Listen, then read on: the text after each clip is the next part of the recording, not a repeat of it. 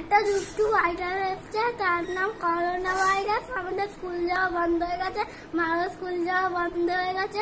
তোমরা একটু দূরে দূরে থাকো, সাবান দিয়ে বারবার হাত ধুতে হবে, সর্দি কাশি হলে মাস্ক পরতে হবে।